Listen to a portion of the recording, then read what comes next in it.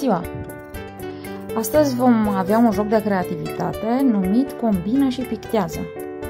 Vom alege trei figuri geometrice, de exemplu pătratul, triunghiul și cercul și vom încerca să suprapunem cele trei figuri, ca în acest exemplu, după care vom folosi, folosi mai întâi culoarea pură, culoarea neamestecată, și apoi prin alăturare și repetiție uh, vom obține tonuri, adică culori mai închise. Dacă amestecăm, de exemplu, pe roșu cu negru, vom avea tonul, ton închis de roșu și dacă amestecăm pe roșu cu alb, vom avea ton deschis de roșu.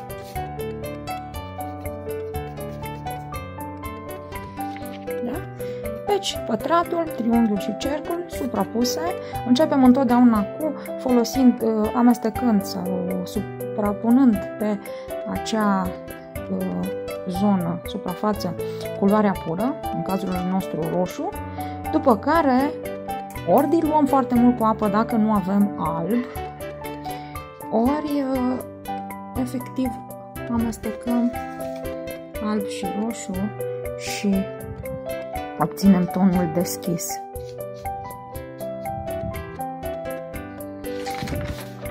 Pentru tonul închis, plecăm de la negru și din ce în ce mai mult, adăugăm din ce în ce mai mult roșu în negru pentru a obține acel ton, diferență de ton. Cu cât ne apropiem de centru, cu atât culoarea va fi mai pură, mai pură, adică neamestecată. Și dacă nu este amestecată, atunci culoarea este strălucitoare. Avem trei culori strălucitoare.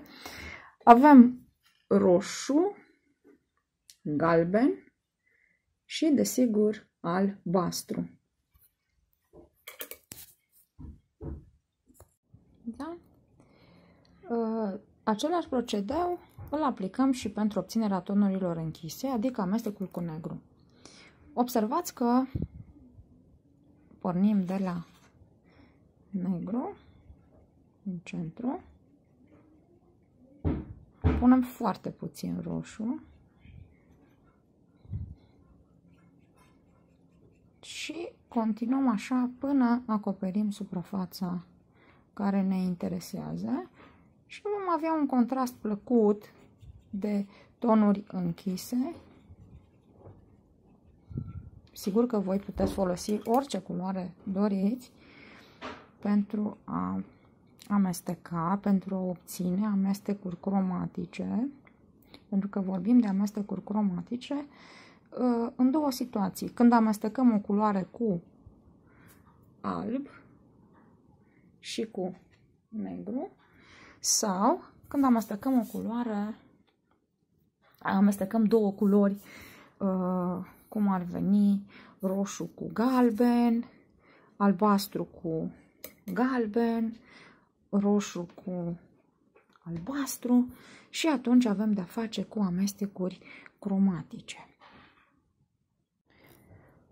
În final, așa va arăta lucrarea noastră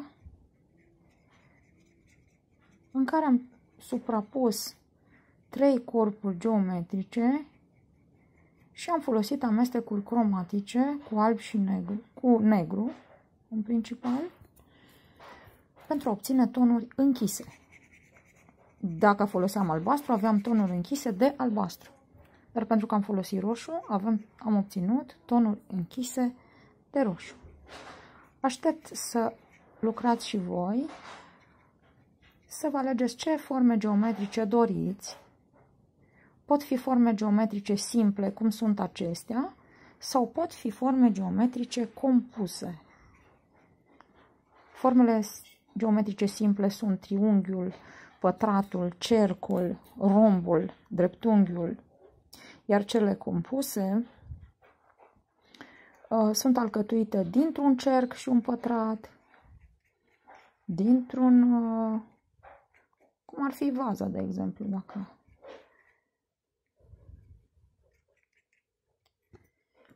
Aștept să văd cât de creativi sunteți.